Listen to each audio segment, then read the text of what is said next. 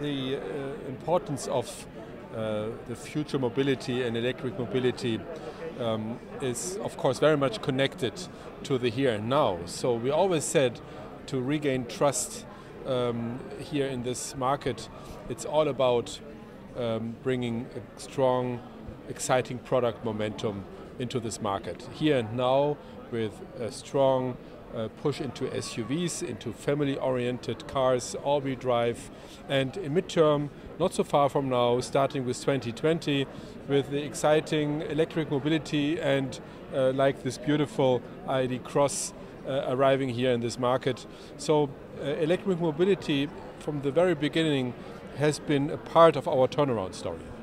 The, the, the, the sequence uh, of, of electric mobility uh, will be a very strong cadence after 2020. We up to now announced uh, the ID Crozz arriving 2020 and the ID Buzz um, in 2022. And of course, uh, we have uh, additional exciting uh, architectures uh, in mind which fit very well into this family and it will all fit into that sequence after 2020 which we did not publish up to now. Yeah, I think the big change um, uh, for, for the brand in this market is uh, the seriousness we are approaching uh, the demands and the wishes of our customers. I would say that is that's the core which led us with this beginning of the turnaround story.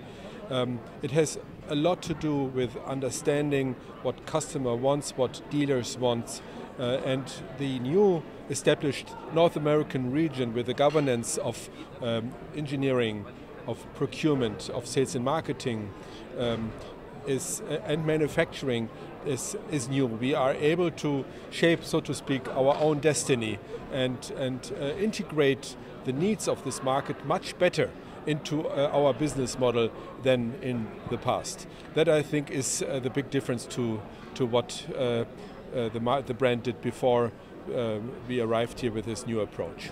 In 2025, still uh, more than uh, 85 percent of the cars being sold are going to be conventional. It does not come from uh, Friday to Monday. We have, a, we have time to prepare ourselves for this. And we do this by doing it in a, in a proactive way, by thinking through uh, from a customer centric oriented approach what is necessary to, um, to uh, shape the business model for our dealers and for Volkswagen as a brand sustainable into the future.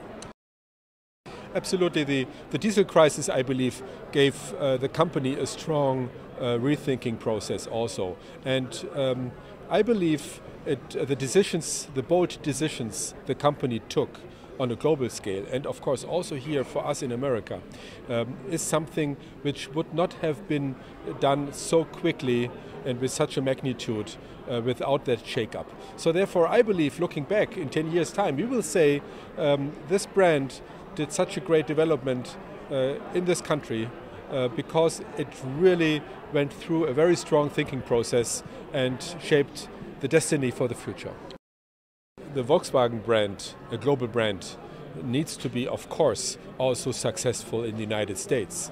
There, uh, that, that is a challenging market, but if we have the right approach, of course, why can such a great a brand with such a great heritage in this country be not successful.